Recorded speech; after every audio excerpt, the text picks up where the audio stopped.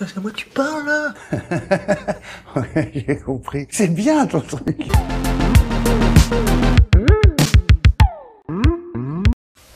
Ah ouais, très marrant ce générique, pas du tout inspiré des émissions Canal+. Qui ai-je donc euh, l'honneur? Ah, Eric. Je comprends pas, on est où exactement? Génial l'idée de mettre des questions aussi de films, parce que Sens Critique se remplit de fiches de films C'est trop culturel On est où?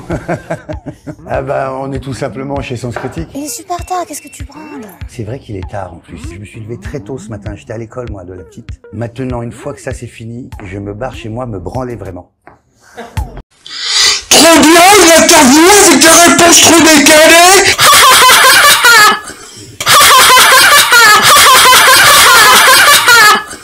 Ça serait bien de sourire un minimum. Oui, d'accord.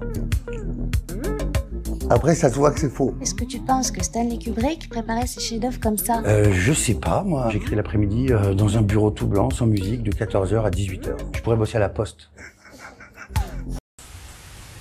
Eric et Razi, c'est trop culturel